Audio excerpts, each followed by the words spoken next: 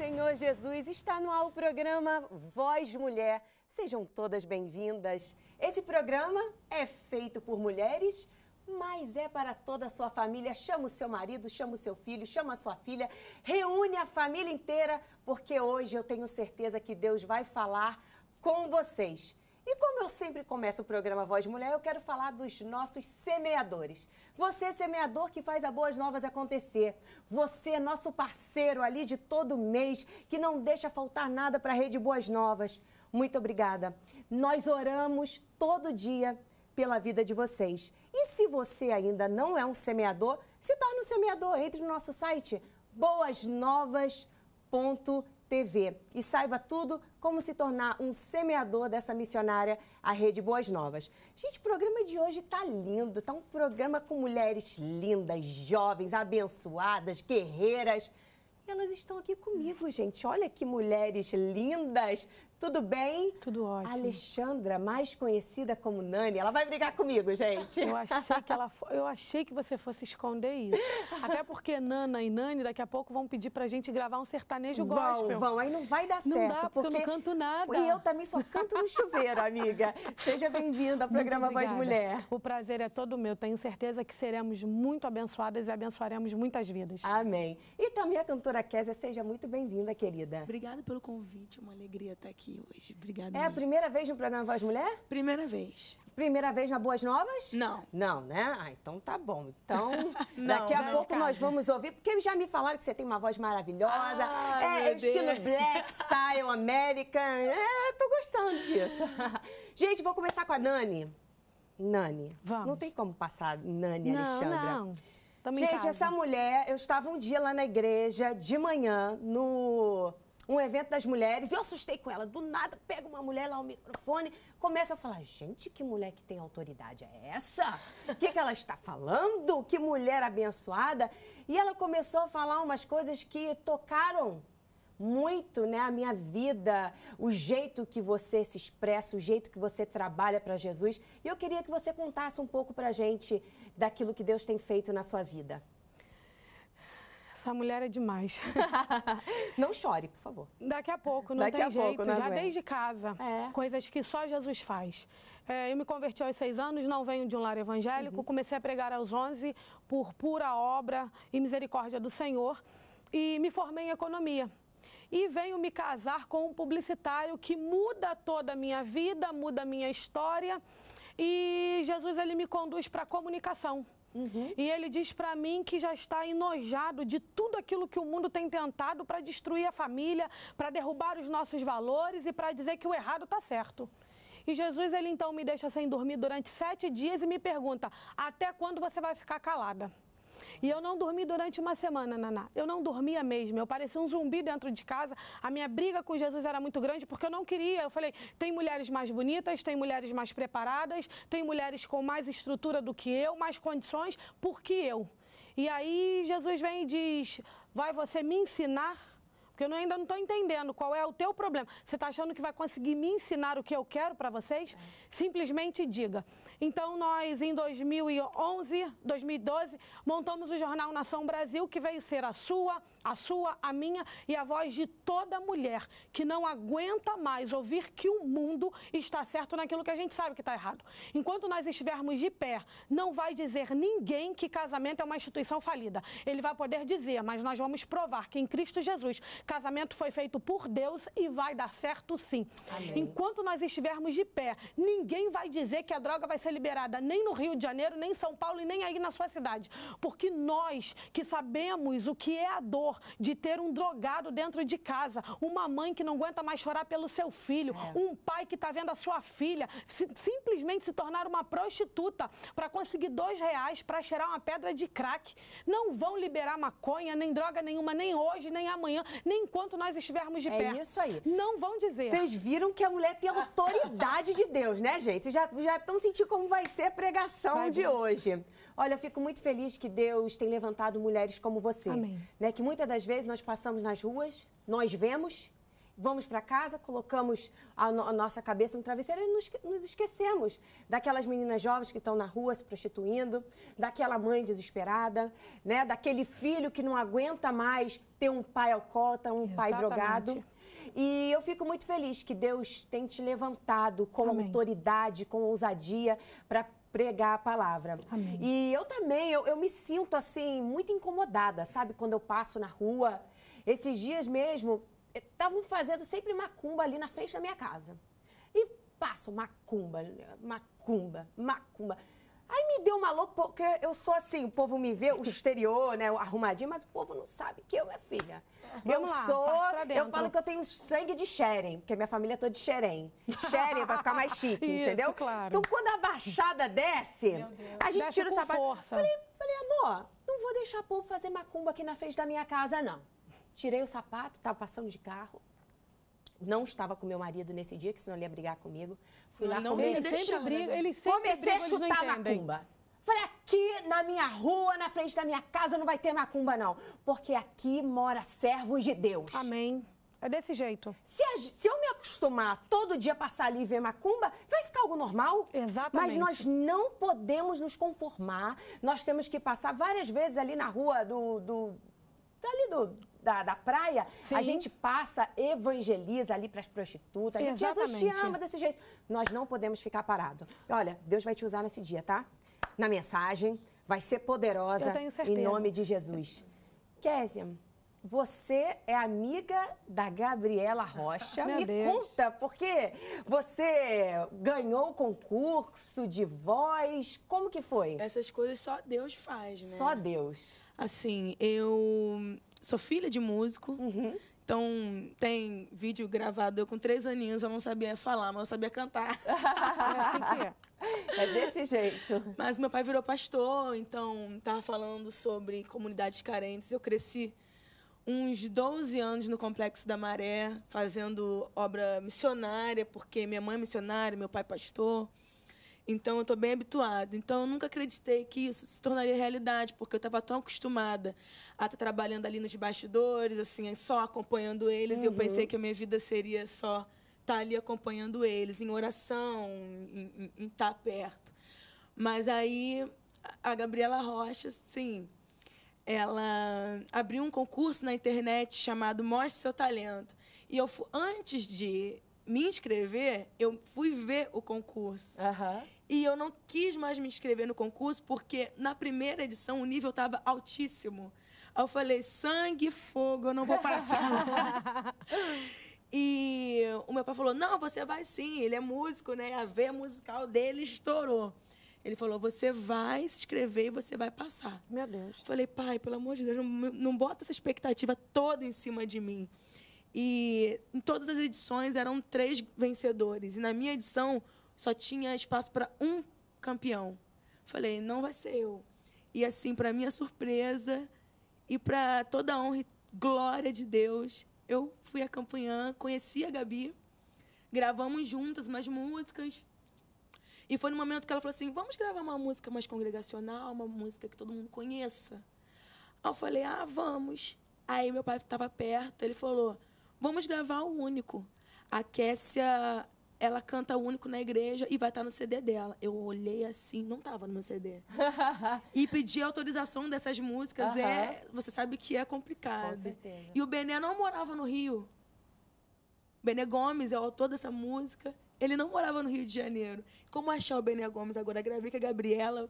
Ela topou gravar no CD. Nós achamos a autorização. Gravamos a música. Tá no CD Graças, que é um presente na minha vida. Está muito lindo. Eu espero que abençoe a sua vida de muitas pessoas, muitas almas. Em nome de Com Jesus. certeza, já tem abençoado né, Amém. muitas Mas, vidas. mas você sabe que você só ganhou porque a dupla Naná e Nani não estavam É formadas. verdade. É verdade. Só por, olha, Quando Naná e Nani entrar em ação, revelamento, Não vai ter pra gente, ninguém. Não vai ter pra olha, ninguém, porque vai ser demais. por isso.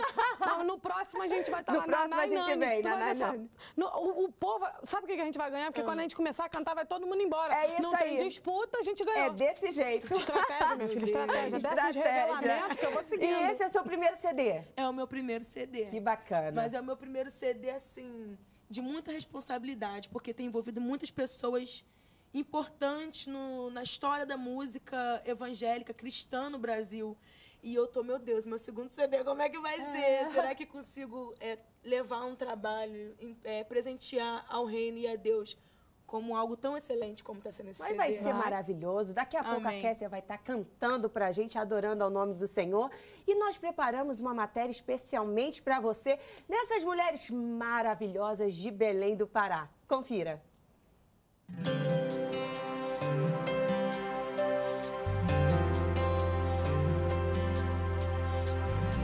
Há muito por fazer. Semelhante ao reino de Deus, em que a semente é lançada à terra e produz o seu fruto, nossa vida é semear e colher sementes. O ciclo divino de plantar, florescer e colher os frutos que vão nos dar novas sementes nunca para. Não se deixe enganar. O que o homem semear, isto também colherá.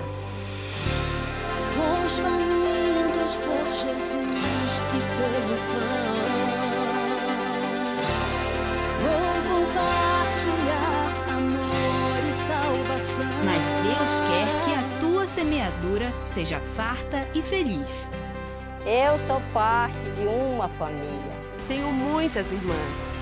Formamos um vasto jardim de talentos, idades e profissões. Juntos vamos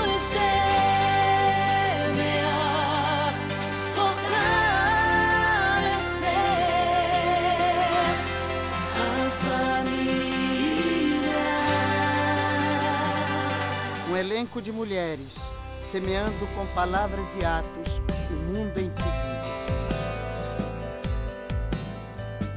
Ao mesmo tempo que semeamos, o solo do nosso coração recebe sementes. Como está o solo do teu coração? Vamos caminhar juntas e plantar sementes que fortaleçam nossa vida. Nossas famílias. Semeando paz, fé, amor, perdão. Não apenas na vida daquelas que amamos, mas também na vida dos que mais precisam. Fortalecendo. Fortalecendo. Irmãs fortalecendo a família.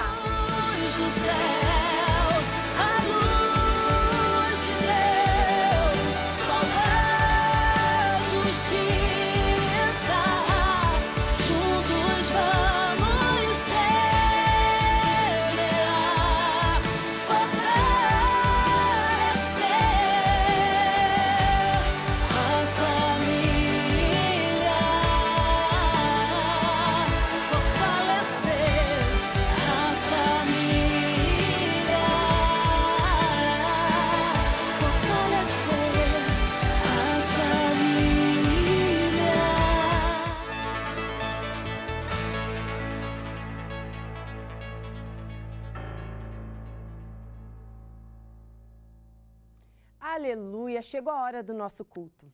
Aqui você tem liberdade para adorar o nosso Deus. E eu tenho algo para te falar nesse dia. Jesus está aqui. Você está na crise? Jesus, ele está aqui. Está passando por problema? Jesus, ele está aqui.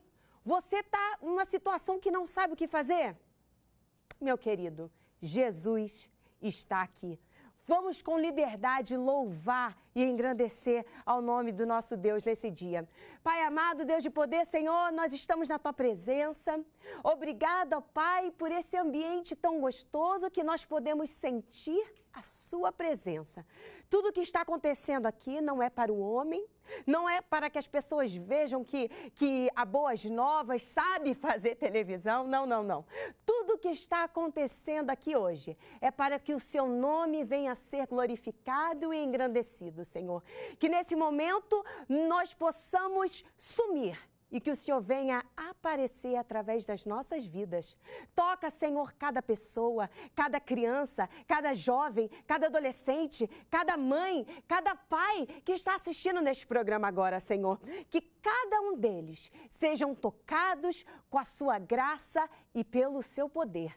Nós te louvamos e te agradecemos por tudo.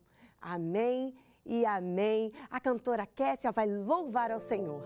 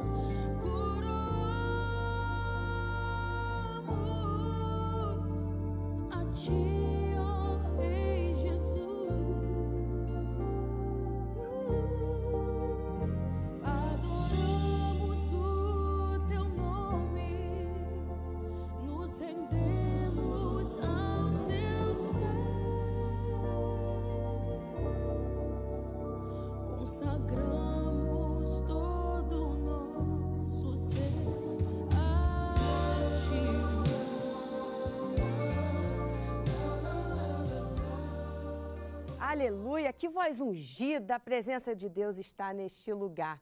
Neste momento, eu quero te incentivar a você mandar o seu e-mail aqui para o nosso programa.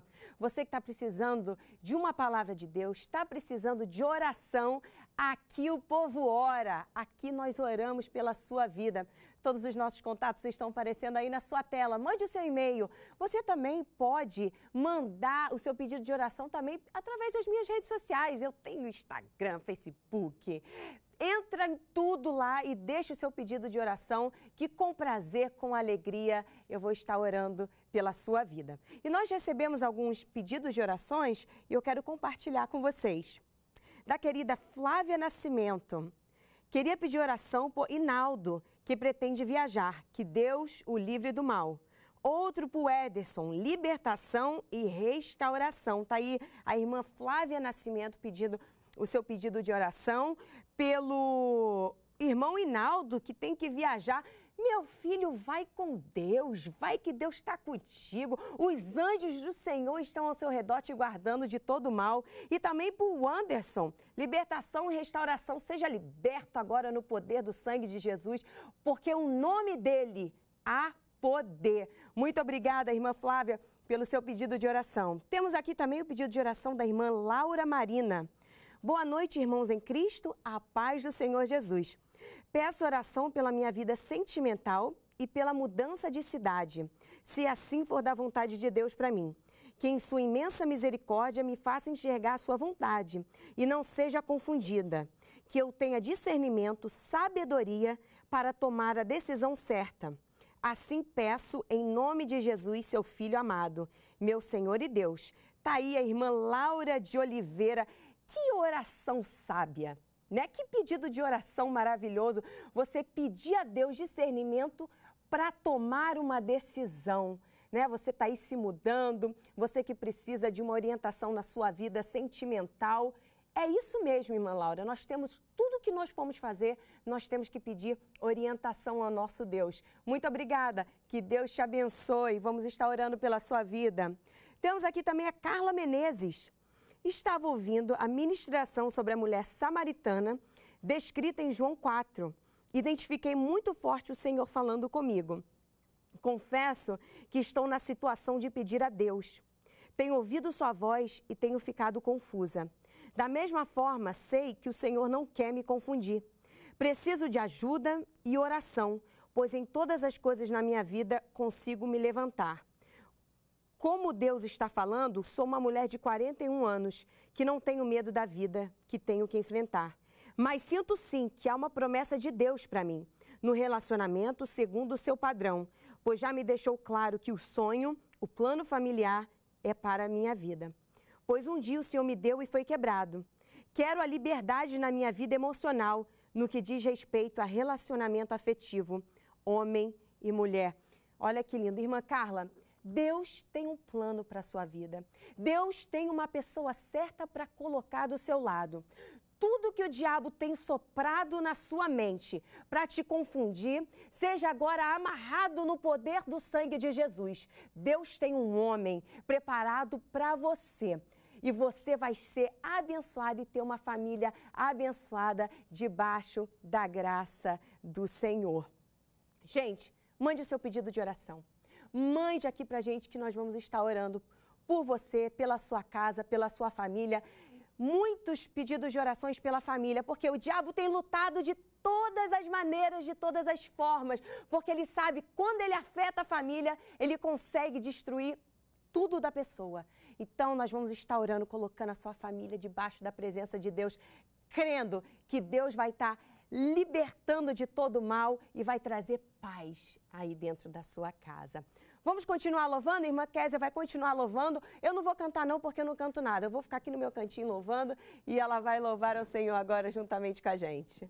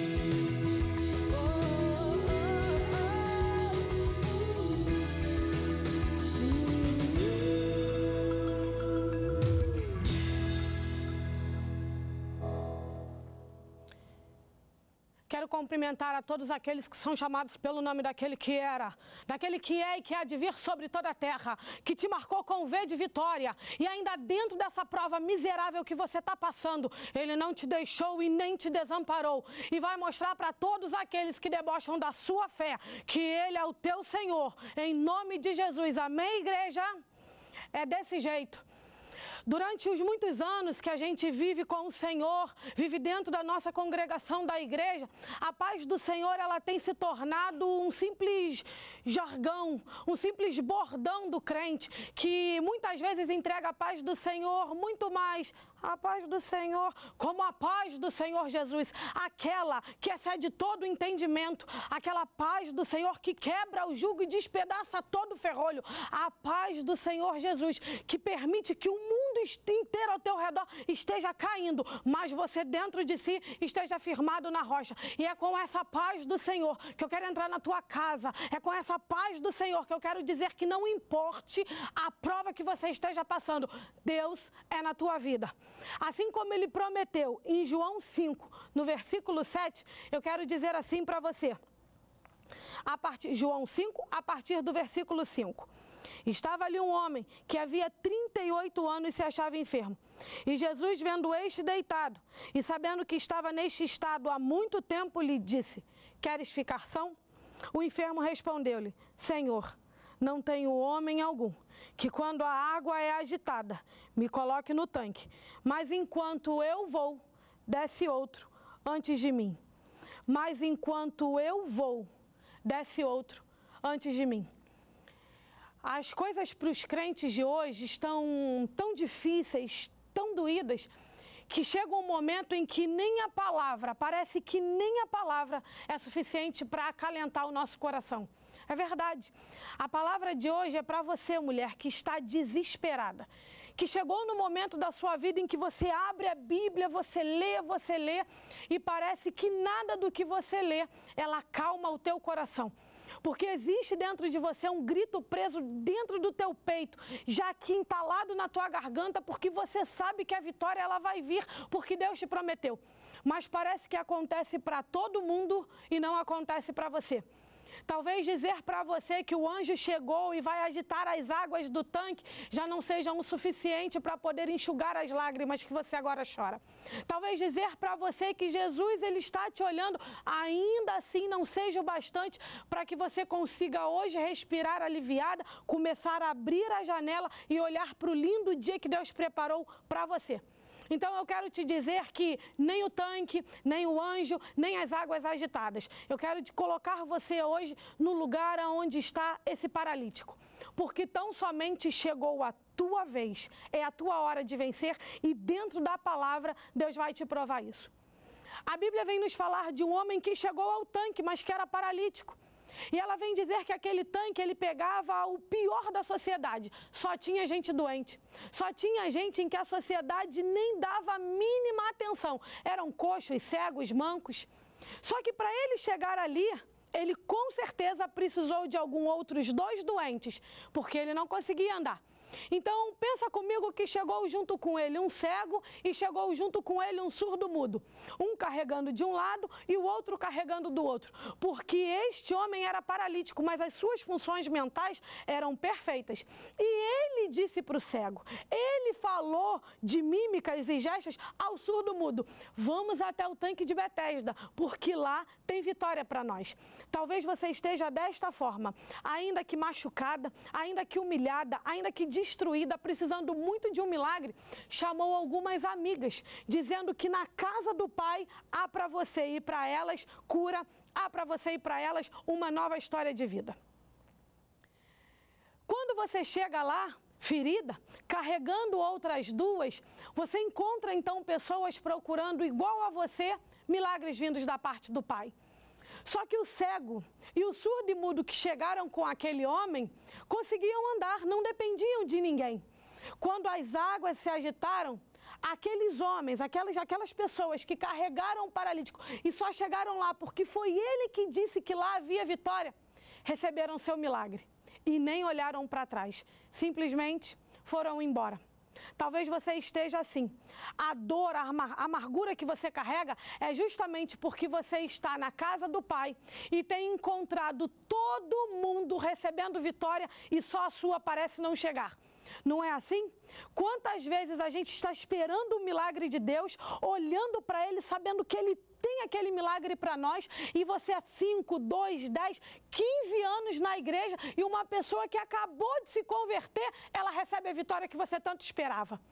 E aí a amargura começa a entrar no teu coração, porque você começa a se comparar. Por que, que ela acabou de entrar na igreja, recebeu, e eu, Senhor, que estou na posição há tanto tempo, continuo sofrendo? Talvez a sua pergunta não seja essa. Talvez a sua pergunta seja realmente uma briga. Você quer brigar com Jeová porque você acha que está vivendo uma injustiça vindo da parte do Pai. Mas, Senhor, eu estou vendo todo mundo receber vitória. Eu já estou no meu lugar, todo mundo recebe vitória e eu estou ficando. Aconteceu exatamente na vida daquele paralítico exatamente do mesmo jeito que talvez esteja acontecendo com você. Ele estava na posição de vitória, já era o lugar dele, por isso, quando ele responde para Cristo, ele diz: Senhor, eu não tenho homem algum que enquanto eu vou, ele me empurre, ele me entregue para o tanque. Ele passa à minha frente. Se alguém passa à frente dele, quer, significa que todos os demais estavam atrás. Todos os demais vinham depois dele, era o momento dele. Ei, psiu, deixa, deixa eu dizer uma coisa firme para você. Chegou a sua vez, é a sua hora. Você está exatamente no ponto onde Jesus precisa que você esteja para ele te dar um milagre. E não importa quantas pessoas tenham passado à sua frente, não importa quantas pessoas já tenham recebido a vitória. O milagre que Deus quer entregar para você não depende do anjo, preste atenção. Todas aquelas pessoas que passavam eram curadas pelo agitar da água. Elas eram curadas porque o anjo de tempos em tempos descia, agitava e elas conseguiam receber o milagre. Às vezes, quando nós vemos outras pessoas recebendo, o diabo começa a falar no nosso ouvido que nós não somos tão importantes, que Deus ama mais o outro do que a nós mesmos, que é inútil nós termos fé e acreditarmos que realmente vai chegar a nossa hora. Mas é quanto mais o diabo começa a tentar a te enganar, que maior fica a preparação do milagre que Deus tem para você. Quando o anjo, então, ele agitava as águas e o coxo, ali há 38 anos, jazendo daquela enfermidade, vendo as pessoas indo embora, pessoas que chegaram há dois meses e já tinham ido embora com o seu milagre. O cego chegou, mergulhou dois meses atrás e foi embora. Chegou o surdo, há uma semana atrás, o anjo desceu, ele conseguiu pular e ele continuava no mesmo lugar. Talvez ele continuasse no mesmo lugar, porque, como paralítico, não tinha quem o tirasse de lá. Ele acabou sendo obrigado a permanecer na fila do milagre. Só que não é isso que Deus quer para você. Você não está na fila porque você é obrigado. Você está na fila porque você é tão marcado por Deus que nem para desviar você presta. Você está na fila não é porque você não tem mais força de sair, é porque o amor que Deus tem para com você é tão grande que ele te mantém exatamente cativo dentro das promessas dele. Todas aquelas pessoas foram curadas porque o problema que elas precisavam resolver, o milagre que elas precisavam receber, qualquer anjo podia resolver. O anjo foi que entregou para elas a vitória que elas precisavam. 38 anos. Aquele homem na fila. Aquele homem no ponto de partida para a grande vitória. Ele tem um encontro de toda a vida dele. Eu quero que você consiga visualizar comigo que você tenha fé para isso. Você está na fila, chorando, sozinha, desesperada, pedindo a Deus, Senhor, quando vai chegar a minha vez? Jesus ao longe, eu vejo Jesus olhando aquelas pessoas. Ele via o paralítico na primeira posição, sabia que era a vez dele. E quando Jesus olha, ele fica ao longe da fila e passa então um cego e consegue o tanque. Jesus olha, bom para o cego. Ah, o surdo foi, bom para o surdo. Quando Jesus então ele chega na fila, ele não foi ver o último, ele não foi ver o penúltimo, mesmo sabendo que aquelas pessoas necessitavam do mesmo milagre. Mesmo sabendo que aquelas pessoas estavam esperando o agitar das águas. Jesus ele chega então na posição do coxo ele chega na posição do paralítico. Eu já ouvi muitos pregadores dizendo que, ah, mas ele então não disse que queria ficar são. Ele disse para Jesus a grande verdade. Ele disse para Jesus: Eu cheguei no meu lugar e ninguém me ajuda. Ué? Chegou tua vez, você está aí, meu filho, o que, que houve? Queres tu ficar são? Senhor, não tenho ninguém que consiga me ceder a vez, porque quando eu vou, um outro vai antes de mim. Sabe por que, que você está na fila tanto tempo? Sabe por que parece que o teu milagre não chega? Sabe por que você vê todas as outras pessoas recebendo milagre na sua frente? Sabe por que você acha que Deus te abandonou porque o delas aconteceu e o seu não? Porque para todas as outras pessoas que receberam milagre, para todas as outras pessoas que chegaram na igreja depois de você, para todas essas outras pessoas que acabaram de se converter e já viram a história da vida delas mudar, qualquer anjo resolvia o problema delas. Você é tão especial, você é tão importante para Deus que a tua vitória não vem do anjo, a tua vitória não vem do profeta, a tua vitória não vem da mão de ninguém, nem do pastor, nem do presbítero. A tua vitória vai vir direto da mão de Deus. A tua vitória vai vir direto da mão de Cristo, é Ele. Ele vai descer e vai dizer: Eu vim te entregar a tua vitória, porque você é tão especial. Aquilo que você está passando é tão importante, é tão único, que eu quero fazer diferente. O milagre que Deus vai entregar nas tuas mãos vai ser tão notório, tão notório, que você vai simplesmente impactar as pessoas ao teu redor, vai impactar outras gerações, vai poder dizer a outros, vai poder dizer ao mundo que Jesus pessoalmente entregou uma vitória toda especial desenhada só para você. Não é que as outras pessoas sejam menos importantes. Só quer dizer que para alguns, pra, assim como Jesus ele precisou para escrever a palavra, ele escolhe alguns com algumas provas um tanto quanto mais personalizadas, para que aquilo seja verdadeiramente notório a todo o resto do mundo. A sua prova hoje pode ser motivo de escárnio para os teus inimigos. A tua prova hoje pode ser motivo de piada para os teus amigos. A tua prova hoje pode ser o motivo da dor no seu coração. A tua prova hoje pode ser o motivo de todos terem ido embora e você estar se sentindo sozinha. A tua prova hoje pode ser aquele tapa que você recebe todos os dias pela manhã. A tua prova hoje pode ser exatamente todos os motivos que te fazem chorar. A tua prova hoje pode ser todos os tudo, tudo todos os motivos que Satanás tem para sussurrar no teu ouvido. Desiste. Sai da fila. Não chegou a tua vez. Não é no outro, não é na tua vizinha, não é na tua prima, nem na tua irmã. É nesta prova, é esta que tanto te machuca, é essa que tanto tem dilacerado o teu coração. Que Jesus simplesmente vai vir pessoalmente e vai dizer: És minha filha amada. Foi você que eu escolhi, porque eu sabia que você tinha total condição de resistir a essa prova. Deus sabe que se ele desse ela para qualquer outra pessoa, por muito menos, a pessoa já teria desistido. Mas como ele escolheu você para uma dura prova, ele sabia que você iria ficar justamente de pé, pronta, esperando a grande vitória que vem das mãos dele. Se a sua vida hoje se resume a um desespero, se sua vida hoje se resume a um mar de lágrimas, se a sua vida se resume hoje a total falta de esperança, se mantenha na fila, fica bem tranquila, porque não é o anjo nem o arcanjo, não é o profeta nem o pastor. É Jesus de Nazaré que chegou na fila para te encontrar e te dizer: levanta, toma a tua, tua cama e anda. Levanta, porque longa é a tua caminhada Levanta em nome de Jesus. Reergue-te agora sobre os teus pés e teus artelhos, porque tu tão somente vai mostrar a este povo o quão grande eu sou. Levanta, mulher. Levanta e reconstrói tudo que o diabo, tudo que Deus permitiu que o diabo derrubasse. Levanta, mulher. Levanta agora. Se olha no espelho e entenda que você tem valor. Levanta.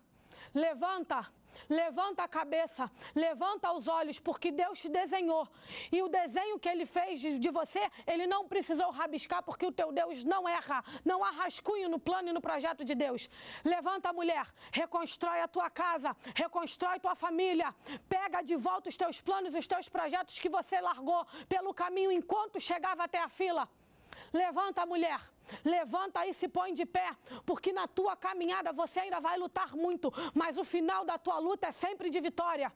Levanta, mulher, vai atrás daquele teu filho que acha que você não o ama mais, que verdadeiramente ele está achando que já manda nele mesmo. Levanta e vai atrás dele, porque ele é responsabilidade sua. Levanta, mulher, faz a comida daquele marido bêbado quando ele chegar em casa. Mas enquanto você estiver fazendo a comida, você começa a ungir, começa a profetizar que aquele hoje que te traz dor, amanhã vai estar contigo te dando muita alegria. Levanta, mulher. Levanta, porque ainda não é o teu fim. Levanta, porque essa família foi Jesus quem te deu. E não há demônio, não há exército do inferno que vai fazer com que eles se afastem de você. Levanta, porque esse diagnóstico de morte não foi Deus quem te deu. Levanta e pega agora a tua cura, porque o Senhor te deu essa enfermidade para honra e para glória do nome dele. Levanta, mulher, levanta. Levanta e pega os teus projetos, levanta e pega os teus propósitos, porque você nasceu nessa vida e está nessa terra para vencer. A tua vida não é uma passagem, você não está aqui de bobeira, você não está aqui por alguns segundos. Esse sopro de vida que Deus te deu, mulher, é para você fazer a diferença. É o quê? É autoestima? Ai, Nani, me sinto pequena, mas eu nem sou tão bonita assim. Mas a outra é tão mais bonita, ela é tão mais preparada. Ei, psiu, não entende tu que dentre todas as flores do jardim de Deus você é a mais bela? Não entende tu que aquele talento que você gostaria de ter é exatamente o que Deus preparou para outra? Assim como aconteceu com a Cassie, eu queria tanto cantar, mas Deus assim aprove dar para ela. E para mim ele me deu outros talentos. Ei, mulher, psiu, Enquanto você fica lamentando pelo que Deus não te deu, você deixa de aproveitar aquilo que Ele já te entregou. Você sabe falar. Você sabe falar. Você sabe profetizar. Você sabe levantar as tuas mãos com a autoridade de Deus e dizer: A minha casa, a minha família pertencem ao Senhor. Essa enfermidade não é para a morte, essa enfermidade é para a glória de Deus. O meu filho não é das drogas, a minha filha não é para a prostituição, meu marido não é para o botequim, eu não sou para a derrota, a minha empresa não vai falir, os meus projetos não vão cair por terra. Porque Deus é comigo porque Deus é na minha casa, porque Deus é na minha família. E está escrito na palavra dele que no mundo eu teria muitas aflições, mas se eu tivesse bom ânimo, eu venceria o mundo. Aquele que te escolheu, venceu todas as coisas por você. E ele não olha para você com olhar de coitado. Ele não olha para você com olhar de coitadinha, tadinha dela. Não. Ele olha para você se perguntando: quando é que ela vai tomar posse da autoridade que eu já derramei sobre ela? Quando é que ela vai tomar posse da unção que eu já derramei sobre ela? Tudo está nas tuas mãos. Toma posse. Toma posse do escudo. Toma posse da tua espada. Toma posse. E verdadeiramente profetiza sobre esse vale de ossos secos. E aonde estiverem ossos separados, sob a tua palavra, eles vão se unir sob a tua palavra e na fé que você tem em Deus, todas as coisas vão acontecer. Eu quero que você feche os seus olhos agora. Coloca a mão no teu coração. E pede a Deus aquilo que você tem e que ainda não aflorou, porque você começou a esmorecer na caminhada. Senhor, meu Deus e meu Pai, eu profetizo agora, pelo poder que há no teu nome, pelo poder que há no teu sangue. Começa a levantar um exército agora meu Deus, essa mulher que está em casa desenganada, essa mulher que está em casa agora chorosa, essa mulher que está em casa agora sem planos e projetos, essa mulher que está em casa agora, Senhor, desacreditada dos teus milagres. Deus, ela está na fila, ela está na posição, meu Pai. Em nome de Jesus Cristo, encontra ela na fila agora. Ergue ela, meu Pai, com a tua misericórdia e mostra para ela que aquilo que ela tem vivido não reflete o final da história dela. Em nome de Jesus. em nome de Jesus. Deixa eu dizer uma coisa para você. O que você está vivendo agora não reflete o final da tua história. Você pode estar chorando neste momento, mas o final da tua história é de alegria. Você pode estar perdendo agora, mas o final da tua história é ganhando. Você pode estar separada agora, mas o final da tua história é casada. Você pode agora estar gemendo, estar chorando, mas o final da tua história é regozijando. Não esqueça disso. O momento que você vive agora não determina o final da tua história. O que você vive agora é passageiro, isso passa. Aquilo que você não está vendo é eterno. A tua vitória, a tua felicidade, o teu regozijo, o teu ministério, a tua família, elas são eternas. Em nome de Jesus. Em nome de Jesus.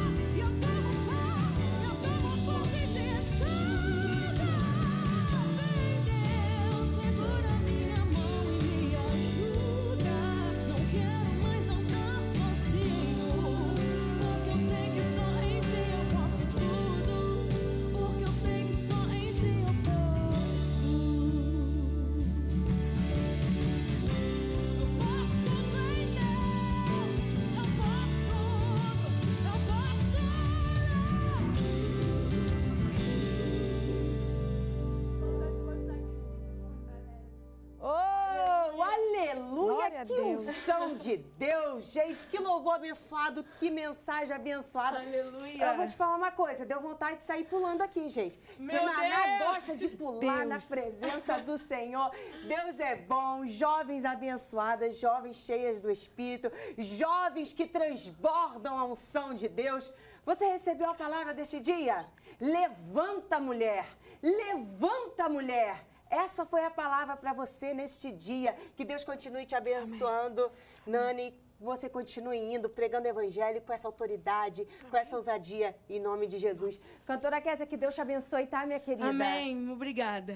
Que Deus te abençoe e continue com essa garra, Em nome de com Jesus. essa unção, Amém. pulando e adorando na Amém. presença do Senhor. Gente, é desse jeito. Quem vai levar o CD abençoado? Esse é meu, tá, gente? Ninguém olha que esse é meu. Vai levar um outro que tá já com a produção. Quem vai levar a irmã Carla Menezes. Tá aí, irmã Carla? Muito obrigada por você ter participado aqui do nosso programa e levou esse CD abençoado para você colocar aí no seu carro, ó, na sua casa, limpando a casinha, adorando o nome do Senhor, cuidando das crianças, adorando o nome do Senhor. E é desse jeito. Gente, muito obrigada pela presença de vocês. Deus é maravilhoso. Ele está comigo e Ele está contigo. Em Cristo, nós somos mais que vencedores. Que Deus abençoe vocês. Até a próxima. Tchau, tchau.